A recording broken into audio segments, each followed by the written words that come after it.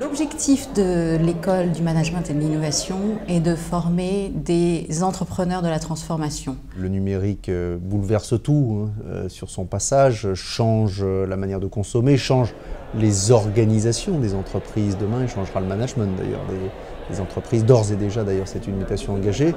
La mondialisation, évidemment, les défis écologiques associés, les défis sociaux, tout cela remet en cause le modèle managérial qui est établi depuis euh, quelques décennies. Dans ce contexte-là, on a besoin d'avoir des leaders, des managers, des créateurs d'entreprises qui sont formés différemment, qui doivent avoir davantage conscience que l'innovation redevient centrale dans la transformation des entreprises, que la question numérique est en train de disrupter absolument tout, et que la responsabilité de ces leaders les oblige à avoir une vision beaucoup plus politique, beaucoup plus sociale, beaucoup plus responsable de l'outil économique qu'ils ont entre les mains.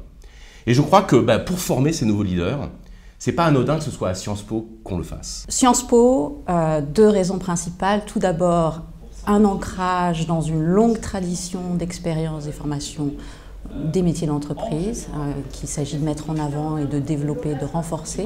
Deuxièmement, un ADN qui s'inscrit euh, dans les sciences humaines et sociales qui vont être un atout important pour le développement de notre projet au sein de l'école du management et de l'innovation. Ce qui m'intéresse dans la démarche de l'école de management de Sciences Po, c'est que précisément elle s'appelle l'école du management et de l'innovation.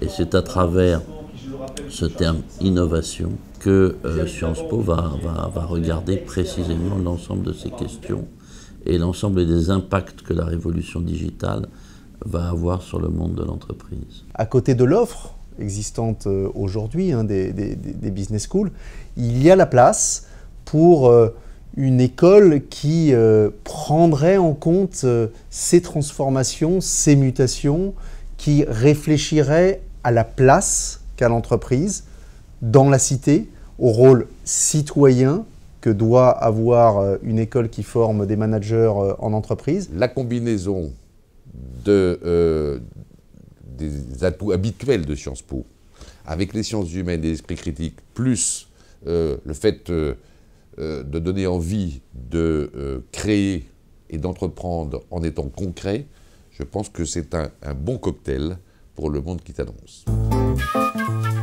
Sciences Po.